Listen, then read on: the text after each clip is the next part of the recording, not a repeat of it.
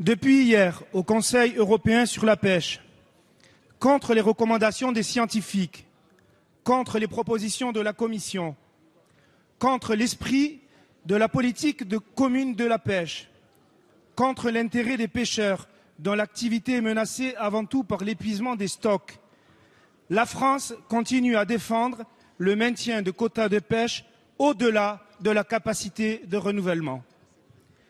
C'est la même logique de court terme qui prévaut en matière de chalutage profond, considérée par les scientifiques comme la méthode de pêche la plus destructrice de l'histoire. En contradiction avec ses engagements internationaux, la France s'oppose à son interdiction.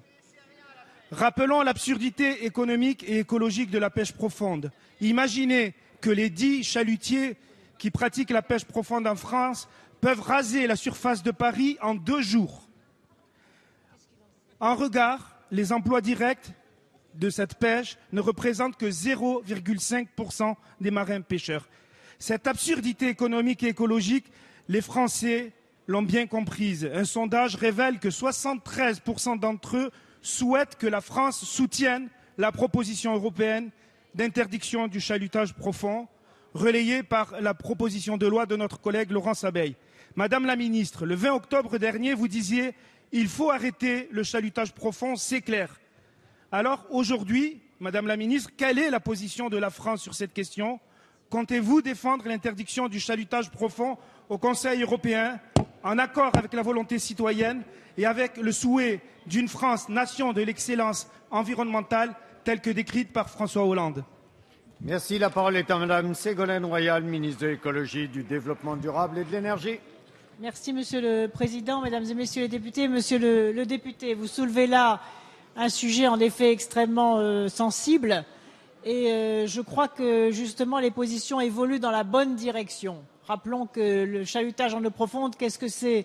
C'est la pêche à plus de 800 mètres de profondeur avec des filets qui mesurent entre 60 mètres et 100 mètres et qui raclent en effet en quelques jours ce que des millénaires ont pris pour construire les écosystèmes marins avec les coraux, les rochers, les herbiers sous-marins, bref, tout ce qui fait les lieux de reproduction des poissons, de nourriture des poissons et donc tout ce qui fait aussi l'avenir de la ressource halieutique.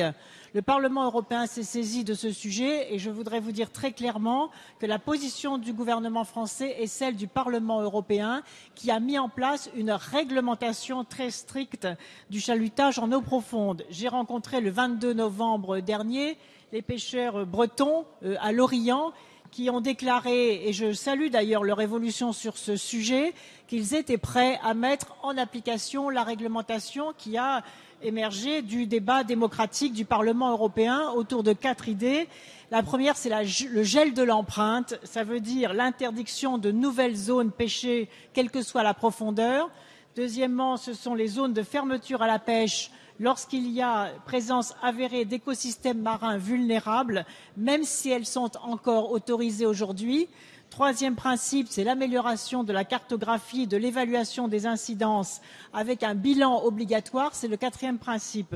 Comme vous le savez, j'ai décidé aussi de rendre publiques les données de l'IFREMER, qui jusqu'à présent ne l'étaient pas, afin qu'un débat démocratique puisse s'organiser autour de ce sujet.